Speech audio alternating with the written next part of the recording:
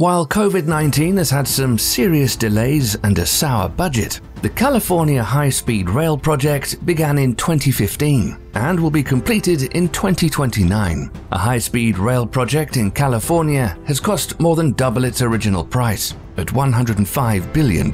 Eight of the state's 10 largest cities will be connected by high speed trains from San Diego to San Francisco. In phase one of the project, Los Angeles and San Francisco will be connected, while in phase two, San Diego and Sacramento will be connected. Each 200 miles per hour train will be entirely electric and run on renewable energy which demonstrates the West Coast state's commitment to sustainability. In the US, rail projects are almost synonymous with high costs, particularly in California. The Eno Center report states the healthcare and pension costs are incorporated into direct capital costs, the government pays for nationalized healthcare and pension plans through general taxes, not employers in some other countries. Another factor driving up project costs in California is the high methane zones in the underground environment around Los Angeles. In addition to higher costs, US rail projects take longer to build. The construction of US projects with minimal tunneling takes about six months longer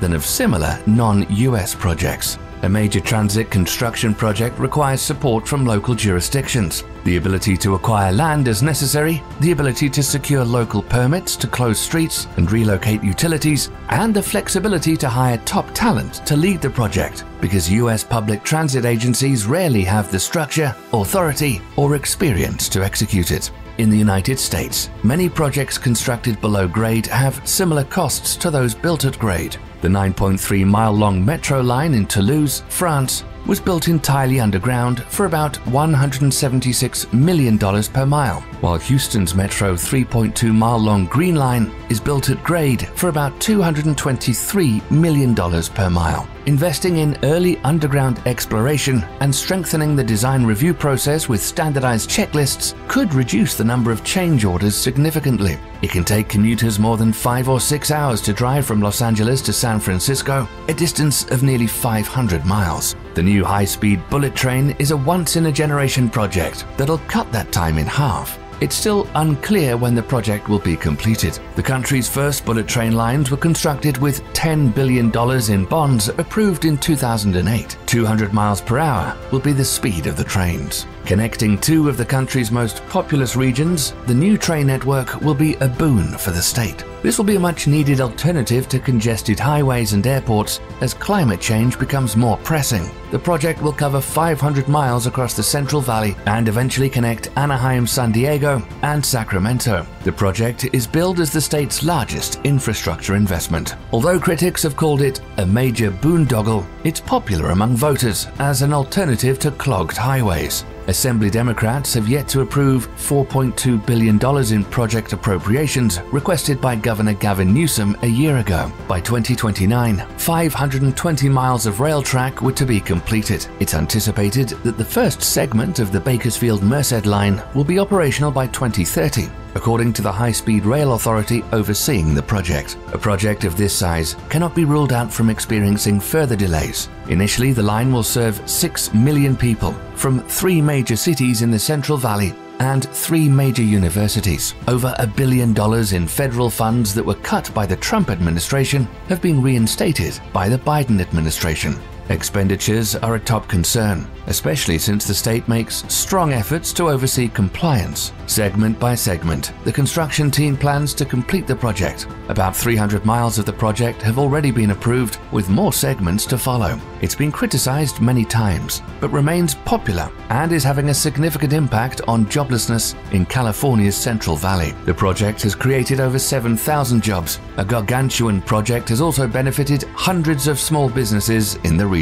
In 2008, voters approved nearly $10 billion in bond money for the project, when its total cost was estimated at $40 billion. Despite delays and struggles to obtain the necessary land, costs have continued to rise. Construction has begun, but the track has not yet been laid. Brian Kelly, Chief Executive Officer, said Tuesday that a fresh federal injection of cash puts the project on a stronger footing. As a result of the federal infrastructure bill Congress passed last year, California should be able to complete for up to $6 billion in grant money. California won roughly $3 billion for the project during the Obama administration, but former Republican President Donald Trump revoked about $1 billion. The Biden administration has returned it. Kelly said receiving billions more in federal funds would enable the project's first operational track to be double track rather than single track and would help it move forward on design and other work. Despite these challenges, the project remains on track. Last year, the state legislature refused to release the remaining $4.2 billion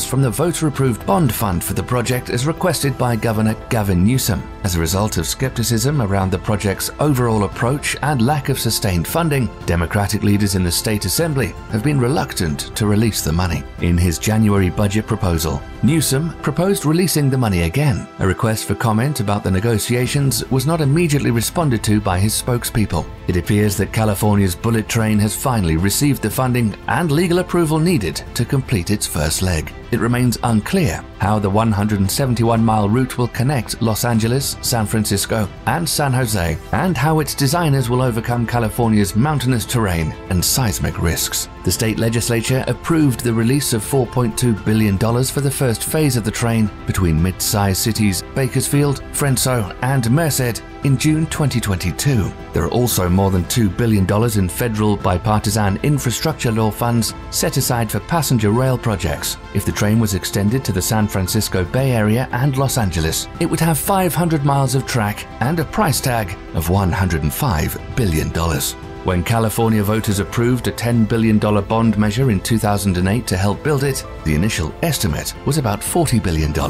After early management blunders threatened public support, the state hired Kelly, a veteran transportation official. It was also important to secure all the land needed to build even the first relatively flat phase of the project. There are currently 119 miles of concrete, bridge like viaducts, and other structures under construction that'll someday allow electric trains to travel at over 200 miles per hour, causing temporary headaches in downtown Fresno. Work on the remaining 52 miles will begin soon. To keep construction on track, Kelly and his team have also secured more than 90% of the land needed. Thousands of workers are employed in the most innovative and transformative project our nation has ever seen in almost 75 years, according to Karen Philbrick, Executive Director of the Mineta Transportation Institute at San Jose State University. There's a great deal of significance in the legislative support for electrifying the HSR segment between Merced and Bakersfield. Critics see a boondoggle where Philbrick sees an opportunity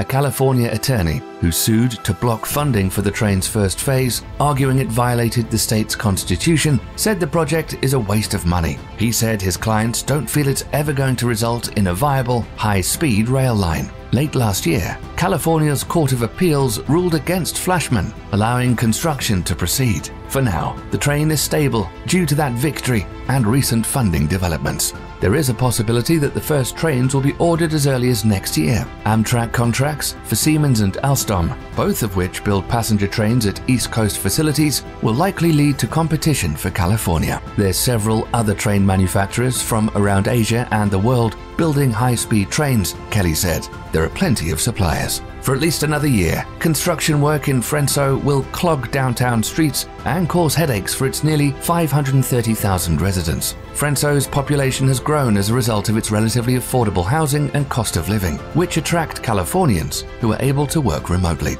Especially if it links Los Angeles and San Francisco, high speed rail will enhance its appeal.